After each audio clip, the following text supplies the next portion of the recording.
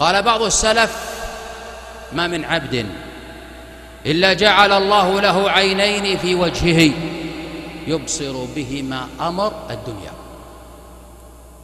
وجعل في قلبه عينين يبصر بهما أمر الآخرة. قال فإن أراد الله به خيرا فتح عينيه اللتين في قلبه فأبصر بهما أمور الآخرة. نعم.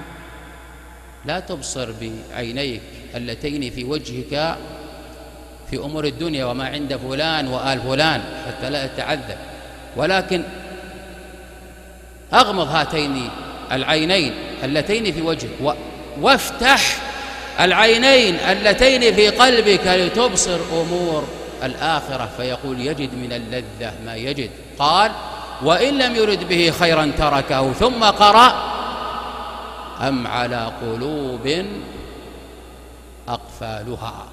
أم على قلوب أقفالها؟